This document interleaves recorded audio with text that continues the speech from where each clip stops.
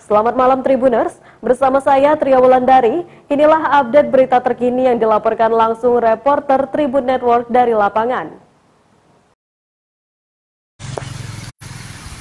Tiga pohon berukuran besar pada bantaran aliran Kali Sunter di Jalan Haji Amsir Kelurahan Cipinang Melayu, Kecamatan Makassar, Jakarta Timur tumbang.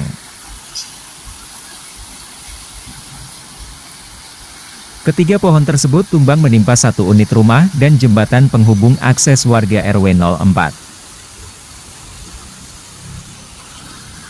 Kejadian ini terjadi diduga akibat terdampak erosi pada bagian bantaran aliran Kali Sunter. Terlihat dua pohon palem tumbang menimpa rumah seorang warga, sementara satu pohon angsana tumbang menimpa jembatan penghubung akses warga RW 04 dan RW 03.